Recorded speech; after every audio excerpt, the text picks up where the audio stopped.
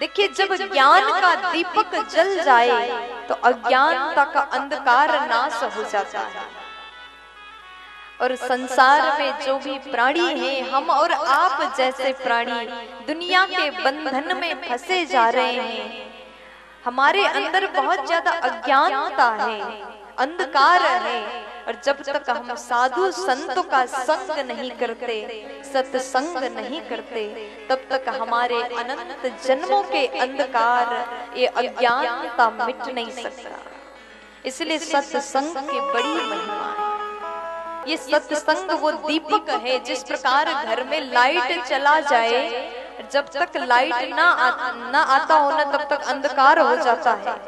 आपने वही एक दीप प्रज्वलन किया तो पूरे घर प्रकाशवान हो जाता है।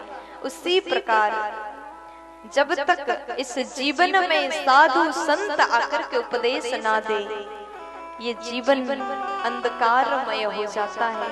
और जब साधु संतों के द्वारा उपदेश दिया जाए तो जीवन ज्ञान से भर जाता है, प्रकाशवान हो जाता है।